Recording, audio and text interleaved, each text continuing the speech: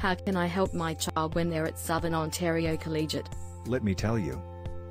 You can talk with them beforehand about living independently. You can check their marks with help from staff. You can check our newsletter to see updates from the school. And you can stay in touch with them when they're at Southern Ontario Collegiate.